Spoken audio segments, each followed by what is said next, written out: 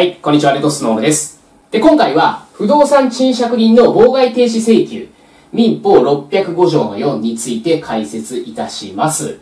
まあ、今回お話しするのは2つですね。まあ、基本的な部分ですけども、よく出題される部分なので、頭に入れておきましょう。えまず、不動産賃借人は、対抗力を備えた場合、以下の2つのことを請求することができますよ。1つ目が、不動産の占有を第三者が妨害しているとき、その第三者に対して妨害停止請求ができます。二つ目は、不動産を第三者が占有しているとき、その第三者に対して返還請求ができます。この二つを請求することができるんですね。第三者に対して。ちょっと一つ一つ見ていこうと思うんですけども、前提となっているのは、賃借人は対抗力を備えた場合の話なんですよ。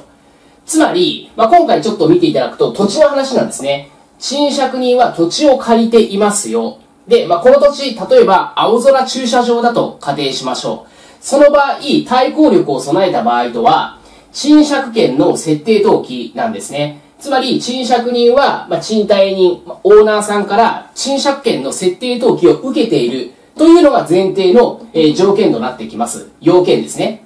で、そういった前提があった上で、1番から見ていきます。不動産の占有を第三者が妨害しているとき、これどういった場合かっていうと、まあ、青空駐車場借りてるわけですよ、賃借人は。借りているにもかかわらず、その前に第三者が、まあ、トラックをね、え置いちゃって、賃借人はここに駐車することができない。まあ、そういった状況ですね。これ、占有第三者によって妨害されてますよね。こういった場合、賃借人は、この第三者、妨害、占有を妨害している第三者に対して、えどんなことを言えるかっていうと、妨害をやめてくださいよって請求できるんですね。つまり、このトラックどけてくださいというふうに請求することができるよっていう話です。で、二つ目。二つ目は、もう実際にその不動産を第三者が占有しちゃってるよ。っていう話です。まあ、こっちの事例で言うと、トラックがもうここにあると。借りた土地の上にもトラック勝手に駐車されている。まあ、そういった状況です。まあ、不法占拠って話ですね。そういった場合、何ができるかっていうと、賃借人はその第三者に対して、返還請求ができます。まあ、土地を返してと、借りているのは私なんだから、不法占拠しているあなたは、出て行ってくださいと。出て行って、その土地返してくださいというふうに請求することができるっていう話なんですね。返還請求ができるよと、まあ、いう内容です。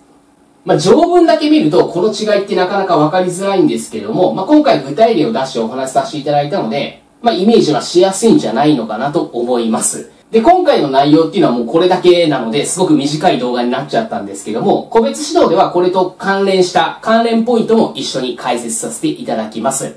もちろんこの部分、試験で出題されやすいんですけども、関連ポイントも含めて試験で出題されやすいので、もし関連ポイントわからない方はぜひ、えー個別指導ご検討いただければと思います。個別指導についてはこの動画の下の概要欄に URL を貼っておきますので、そちらからぜひご確認いただければと思います。理解学習ができれば1回で合格できます。逆に理解学習ができないと、どれだけ勉強しても何回も何回も落ち続けます。そうならないためにもぜひ理解学習を実践していきましょう。個別指導であなたをお待ちしております。宅建合格目指して一緒に頑張っていきましょう。